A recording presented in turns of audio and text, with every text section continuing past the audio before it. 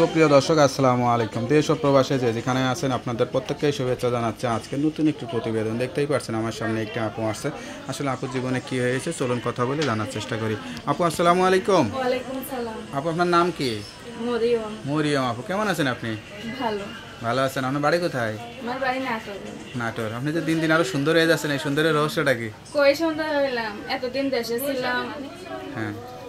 আইতে পারি নাই কেননা আমি এর আগেও একটা প্রতিবেদন গ্রামে গ্রামে থেকে সুন্দর হয়ে গেছেন তাই না পরিবারে কে কে আছে মা আছে আচ্ছা আচ্ছা ছোট একটা বোন আছে বিয়ে শাদী স্বামী সংসার এখনও হয় নাই বিয়ে সাথে হলে কি আর প্রতিবেদনের সামনে আসতাম তো স্বামী নিয়ে সুখে থাকতাম আজকে আজকে কি চিন্তা বা কি আশা করে আসছেন চিন্তা আইছি যে একটা যদি ভালো একটা মনের মতন মানুষ পাই সে আমার পাশে থাকে ইনশাল্লাহ আমিও তার পাশে থাকতে চাই আচ্ছা আচ্ছা। কোনো প্রেম ভালোবাসা টাসা হয়নি? প্রেম ভালোবাসা কেমনি করব? কাজ করে তো সময় পাই না। লেখাপড়া করছিলেন?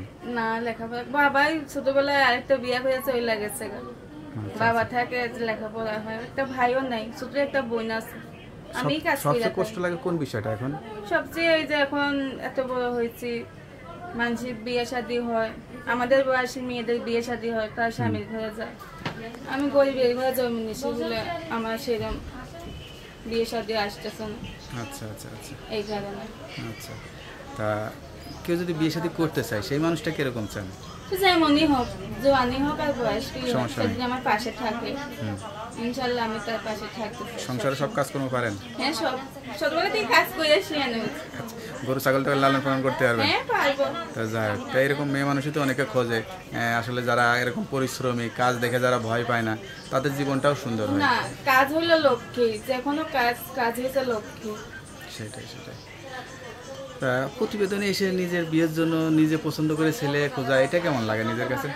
এটা তো অনেকটাই খারাপ লাগে। এখন এমন একটা ভাগ্যের এই ভাগ্য বলে এই প্রতিবেদনের সামনে যদি লেখাপড়া শিখতে পারতেন তাহলে নিজেকে কীভাবে তৈরি করতেন? লেখাপড়া শিখলে একটা চাকরি করতাম নিজের পায়ে খাওয়াতাম পরে বিয়ের সাথে কথা ভাবতাম। এখন তো সেই ভাগ্যটা নাই আমার চাকরি বাকরি করলে দেখেন কত ছেলে পিছে পিছে ঘুরতো বিয়ের জন্য তাই না? হ্যাঁ।